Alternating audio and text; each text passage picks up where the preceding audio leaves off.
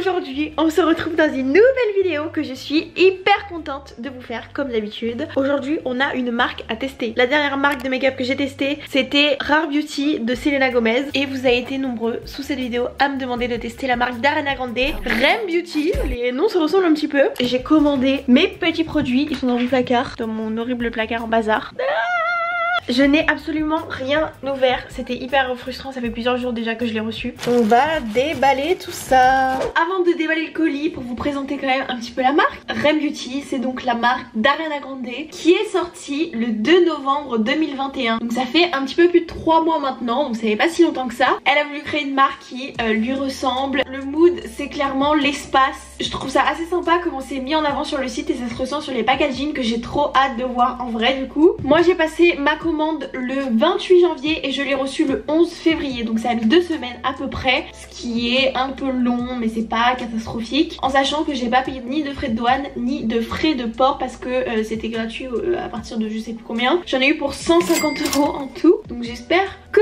c'est du bon make-up, croyez-moi. On va tout tester ensemble. Il y a quand même dans mes souvenirs pas mal de produits. Je ne me rappelle plus du tout de ce que j'ai commandé. J'ai absolument aucun souvenir. On va voir ça ensemble. Une palette pour les yeux, un highlighter, un mascara. Pourquoi tout est abîmé comme ça mhm. Un gloss, un crayon pour les yeux, un eyeliner, fard à paupières liquide. En revanche, là, ce que je peux vous dire, c'est qu'il y a des packaging qui sont abîmés. Ici, par exemple, c'est abîmé en sachant que j'ai rien ouvert. Là, vous voyez, c'est tout abîmé. Je dirais que ça a déjà été ouvert. Hein, je pense que ça se voit. Ensuite, ici c'est pareil. Là c'est abîmé. Là le Rem Beauty, vous avez vu, il est tout... Genre c'est comme si on avait frotté, que ça avait décoloré un peu le carton. Moyen moyen, hein. j'espère que tout va bien à l'intérieur. Comme je n'ai rien pour le teint à part la lighter, bah je vais faire mon teint et mes sourcils et je reviens dans 5 minutes. Tadam Donc pour les yeux, on a quand même un paquet de trucs à tester. On va commencer par le fard à paupières liquide bien sûr. Découvrons notre premier packaging. Oh, c'est beau J'aime beaucoup. J'aime bien comment c'est écrit REM comme ça. J'avais pris une teinte quand même assez foncée. C'est la teinte astéroïde. Donc bien sûr les noms des teintes sont dans le thème. Ça sent absolument rien. Donc c'est une teinte qui est assez foncée. Pour ce produit de 4 ml on est à 18 euros. Donc écoutez ça me paraît pas hyper cher pour ce que c'est. Disons que euh, bon on s'achète pas toute une collection. Mais s'il y a vraiment une teinte qu'on aime et qu'on applique tous les jours c'est plutôt rentable. Je vais pas en appliquer énormément parce que c'est quand même très foncé. Je vais en appliquer surtout au niveau du coin externe. L'applicateur est plutôt pas mal. Hein. Oula. Ça s'estompe assez bien mais on perd énormément de pigmentation quand même je trouve. On peut pas trop le déplacer. C'est-à-dire que là je veux remonter un tout petit peu la couleur. Ça se déplace pas. On va refaire sur l'autre œil. Parce que vous voyez là, la pigmentation, les irisés, parce que là c'est vraiment un marron euh, avec des reflets dorés. Mais globalement quand même ça s'estompe bien parce que les produits crème ça peut être une vraie galère. Je pense que j'en ai un petit peu plus ici.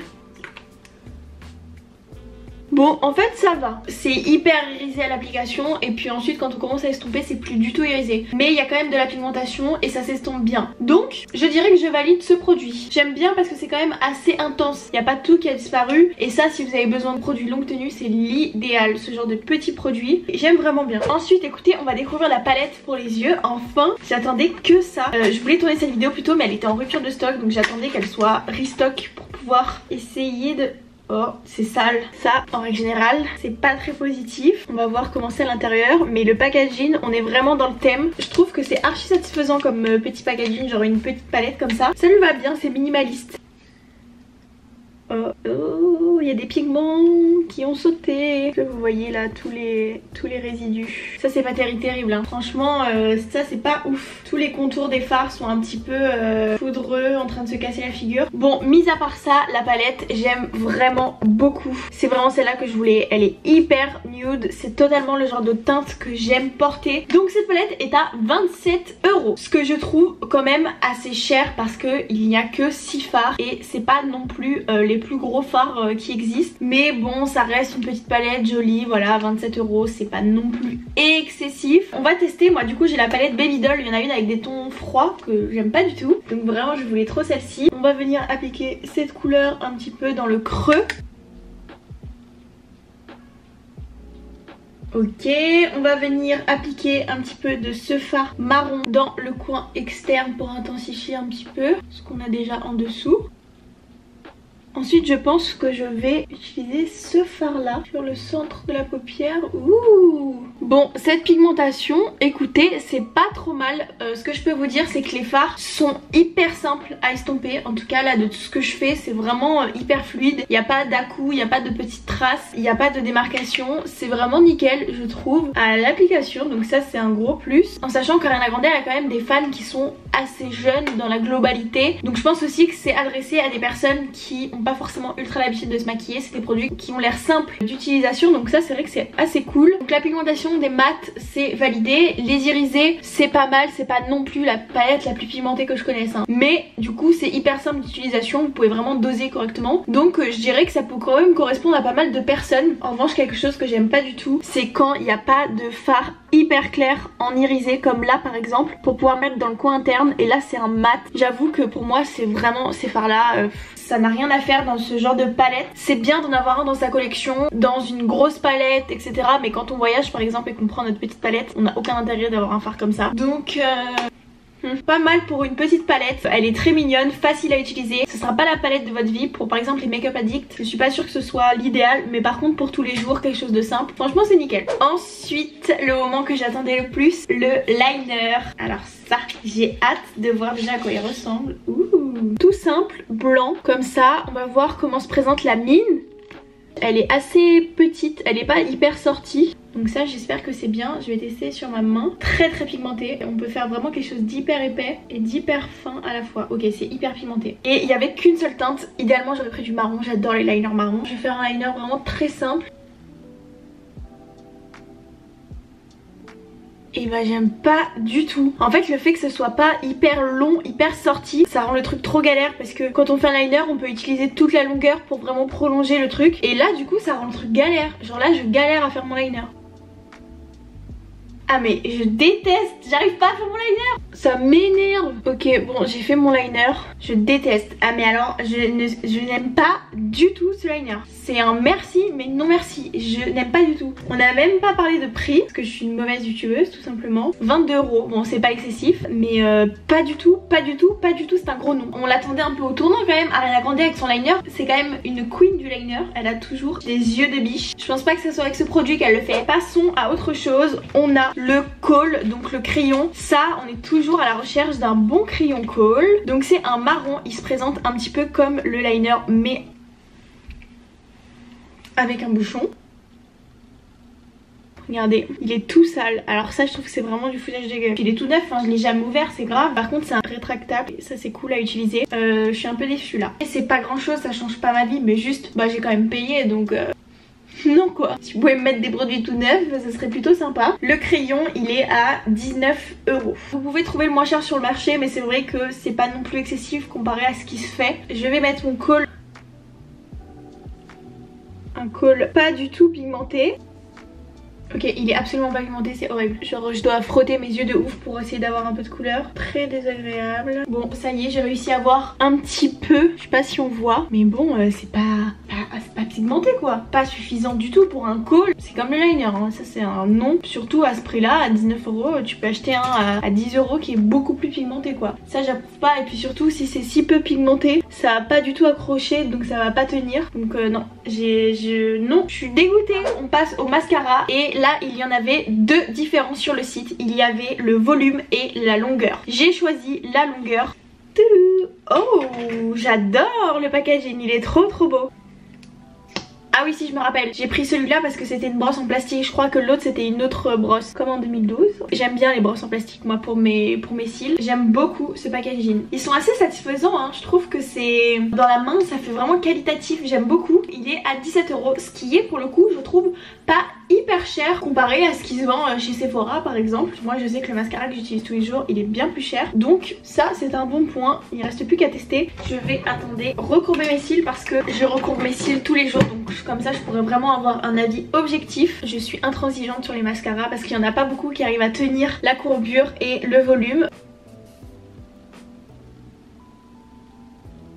Je trouve qu'il met très peu de matière. Il sépare assez bien les cils je trouve, ça fait pas de paquet. C'est plutôt pas mal, c'est vrai que ça apporte de la longueur. Pour un effet naturel, j'approuve. Ouais, c'est plutôt pas mal. Mais du coup ça prend plus de temps à travailler qu'un autre mascara je trouve. Les yeux, franchement, c'est pas trop mal hein, ce mascara. J'aime bien. Prochaine étape, l'highlighter que je voulais vraiment tester parce que ça me donnait trop envie sur le site. Aussi, ce que j'aime bien sur le site, c'est vrai qu'on peut vraiment voir selon sa carnation parce qu'il y a vraiment tous les types de peau, toutes les teintes sont testées sur chaque type de peau et il y a les numéros, il y a vraiment tout et c'est hyper bien fait, je trouve. Et ça, c'est vrai que quand on vend uniquement en ligne, pour moi, c'est indispensable d'avoir euh, vraiment les teintes sur tous les types de peau, bien expliquées, bien numérotées. C'est trop important parce que bah sinon c'est difficile. Moi j'ai hésité entre plusieurs teintes et euh, je me suis rendu compte après en voyant les swatchs un petit peu sur les bras bah que c'était celle-ci qu'il me fallait. Donc c'est d'ailleurs la teinte Miss Mercury. Normalement c'est un highlighter un petit peu doré. Oh mais c'est dingue ça, ils sont tous un peu abîmés. Ce qu'on voit là, ici là il y a des traces bizarres. C'est chelou ça, hein. franchement... Euh... Oh Il est trop beau. Il est trop beau. Les packaging sont vraiment très satisfaisants. Faut trop qu'elles sortent des blushs. Les blushs là-dedans, là, moi ça me donne envie. Un petit miroir. Il est trop satisfaisant genre. Euh. Cet highlighter du coup est à 25 euros. Je trouve pas ça hyper hyper excessif. C'est ce que je dis depuis le début. La marque globalement c'est pas excessif mais c'est pas non plus pas cher. On est dans la moyenne, euh, voilà. La moyenne plutôt basse. Après maquillage en vrai ça coûte tellement cher. Enfin parfois c'est vraiment du délire. C'est un budget hein. Quand je dis un highlighter à 25 euros c'est pas cher. On est bien d'accord que faut quand même avoir envie de les sortir. Bref testons un highlighter. J'attends que ça. On voit toujours mieux avec la lumière.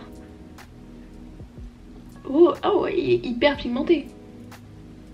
Ah, c'est plutôt pas mal, hein il est glowy mais sans iriser, genre il n'y a pas de paillettes. Vous voyez ce que je veux dire? Ça fait vraiment glow naturel, pas paillettes ou, euh, irisé, euh, pas joli quoi. C'est plutôt pas mal hein Franchement j'aime bien. Je pense qu'on voit bien, oui on voit clairement le glow que ça apporte. J'aime bien et la teinte est, vraiment champagne jolie. Et là on passe au dernier produit, on passe au gloss. J'ai beaucoup hésité avec plusieurs produits. J'aurais aimé plus commander mais il y avait quasiment tout en rupture. Il y avait les rouges à lèvres mat, ça j'aime pas du tout. Enfin pour moi c'est bon les rouges à lèvres mat c'était en 2012 que c'était cool. Maintenant c'est les gloss il y avait les marqueurs les lèvres ça c'est typiquement des produits que j'aime pas du tout utiliser donc je me suis dit que c'était pas utile de le tester dans la vidéo parce que de toute façon il fallait bien que je teste un produit pour les lèvres et il y avait un gloss transparent à 19 euros un gloss vraiment de base et il y avait les gloss colorés qui étaient à 19 euros ce qui est un peu cher en 19 euros en gloss c'est toujours un peu cher hein, les produits lèvres alors que bon c'est quand même petit hein. j'ai pris la teinte scrunchy je pareil avec les soins je trouvais que c'était une jolie teinte. J'espère que c'est pas trop pigmenté, ça va faire quand même assez naturel. Mais le packaging est plutôt mignon, bon c'est assez simple. Hein. S'il y avait pas la marque, on aurait pu dire que c'était un truc dans un kit pour enfants. C'est très simple, faut voir l'applicateur. Ah ok, je m'attendais pas du tout à ça, je croyais que c'était un petit embout. Bon, on va tester.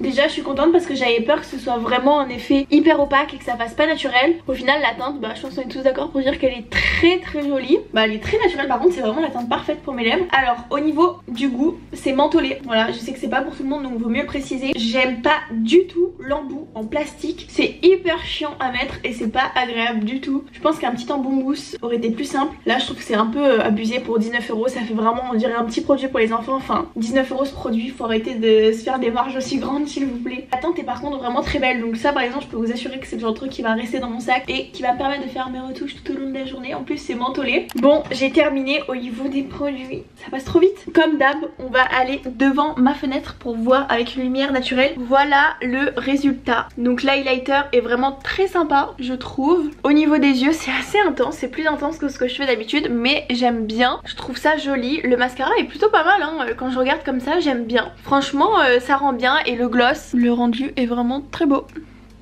Je sais pas ce que vous en pensez, dites-moi ça en commentaire mais je trouve que le résultat final est plutôt cool. Un miso, qu'est-ce que t'en penses? Honnêtement, je suis très contente du résultat. Bon, au niveau des produits, j'avoue que pour moi il y a des points qui passent pas trop comme par exemple recevoir des produits un petit peu abîmés. Encore une fois, c'est pas la fin du monde, loin de là, mais juste euh, bah pour le prix, c'est vrai que bon, ça fait pas forcément toujours hyper plaisir. Je sais pas si c'est moi qui n'ai pas eu de chance ou si c'est quelque chose d'habituel, mais c'est vrai que ça c'est pas foufou. Autre chose, euh, produit pour les yeux, liner crayon. Vraiment c'est les deux trucs que je ne recommande pas du tout. Le crayon est inutile à mon goût. Il n'est pas du tout pigmenté. Je sais d'avance qu'il va pas tenir parce qu'il a rien accroché. Et le liner, c'est un grand nom. Il est pas pratique.